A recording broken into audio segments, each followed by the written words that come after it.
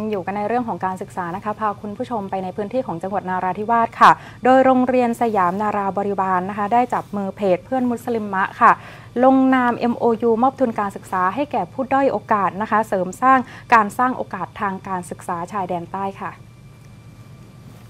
ที่โรงเรียนสยามนาราบริบาล จังหวัดนาราธิวาสอำเภอเมืองจังหวัดนาราธิวาสนายรุสมานิเฮงรองผู้อำนวยการสำนักงานการศึกษาเอกชน จังหวัดนาราธิวาสได้เป็นประธานและเป็นสักขีพยานลงนามบันทึกข้อตกลงความร่วมมือ ระหว่างโรงเรียนสยามนาราบริบาล กับเพจเพื่อนมุสลิมมะและเครือข่ายในการช่วยเหลือผู้ด้อยโอกาสร่วมลงนาม โดยมีนายเชษนิธิสรโซผู้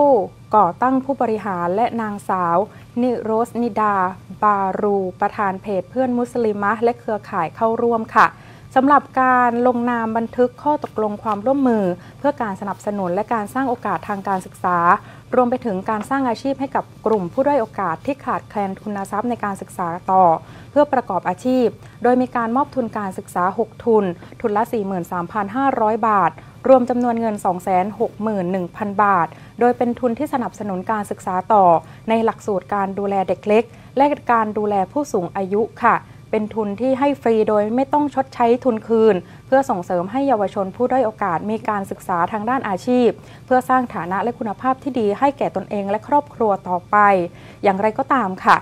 นักศึกษาท่านใดนะคะที่สนใจศึกษาหลักสูตรผู้ช่วยพยาบาลค่ะ ก็สามารถที่จะติดต่อสมัครได้ที่ทางโรงเรียนนะคะ ได้มีการเปิดรับเป็นรุ่นที่ 2 ขณะนี้ก็มีส่วนลดค่าเทอมสูงสุดถึง 30,000 บาท โดยการเรียนค่ะก็จะเรียนที่โรงเรียน 3 เดือน และฝึกในสถานประกอบการ 3 เดือน ทางโรงเรียนจะดำเนินการจัดหางานและบรรจุงานให้ทันที พร้อมขับเคลื่อนด้านอาชีพและพัฒนาจังหวัดนาราธิวาสต่อไปค่ะ